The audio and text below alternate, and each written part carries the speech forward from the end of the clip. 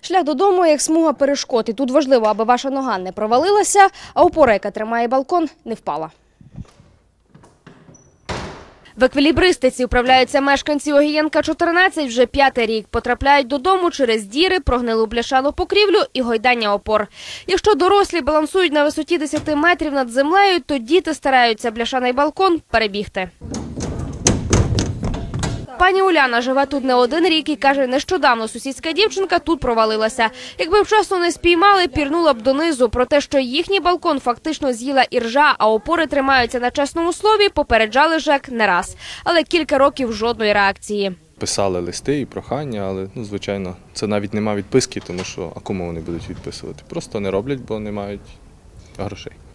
Тому, що у районі Скарбниці порожньо зізнаються і в Галицькій адміністрації і дають чергову обіцянку. Всі 200 аварійних балконів відремонтують наступного року. Кожен є внесений в реєстр.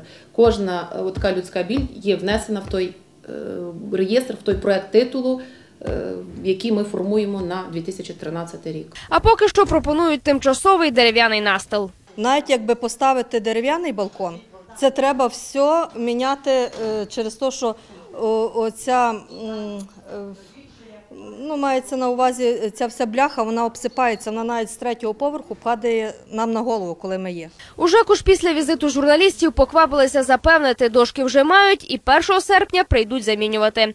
Але це лише шостий галерейний балкон, який цьогоріч зроблять безпечнішим в районі, а є ще з десяток, які виходять на людні вулиці. страшно.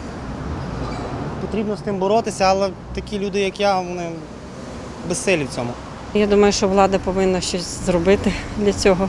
На ремонт одного балкона потрібно приблизно 10-15 тисяч гривень. Ірина Папірник, Олександр Бригадир. Головні новини Львова.